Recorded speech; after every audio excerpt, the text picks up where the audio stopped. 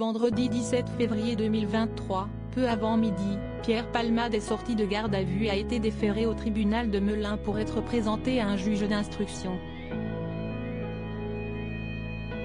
Le procureur de la République, qui a requis son placement en détention provisoire, a partagé de nouvelles informations liées à l'autopsie du bébé décédé après l'accident. L'enquête avance. Pierre Palmade, qui était hospitalisé depuis le vendredi 10 février 2023, a été placé en garde à vue pour 48 heures, le mercredi 15 février.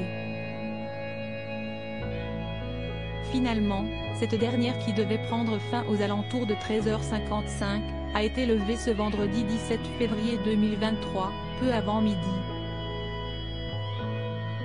L'humoriste a alors été déféré vers l'hôpital de Melun, pour être présenté à un juge d'instruction.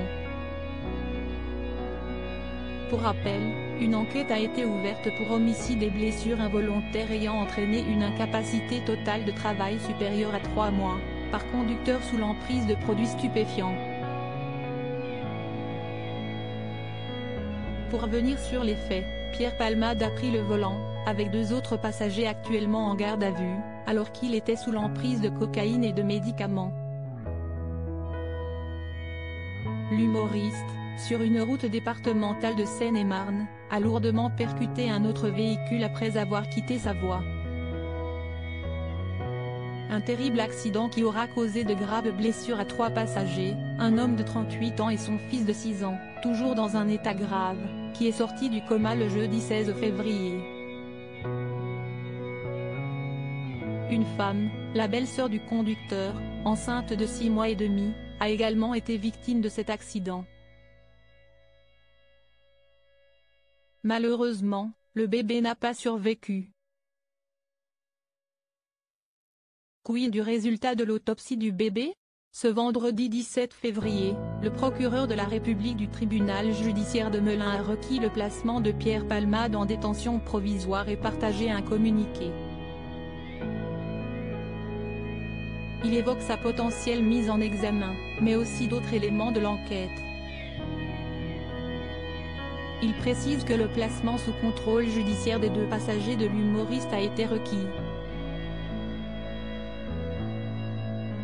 Quant aux trois victimes, dont deux dans un état grave, un point récapitulatif a été dévoilé par le parquet, notamment au sujet de l'autopsie de l'enfant, décédé après l'accident, la femme, dont le pronostic vital n'est plus engagé, a perdu son enfant à l'hôpital. L'autopsie réalisée n'a pas permis d'établir si cet enfant était né vivant. Une expertise complémentaire a été ordonnée sur ce point, est-il précisé. L'instruction a été ouverte pour homicide involontaire afin de déterminer si l'enfant était morte avant l'accouchement, ou s'il a vécu quelques secondes avant son décès. Un second communiqué de presse devrait être diffusé ce vendredi 17 février, pour vous informer des décisions qui seront rendues.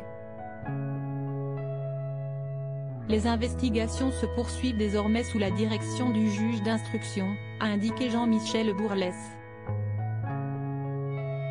Affaire à suivre.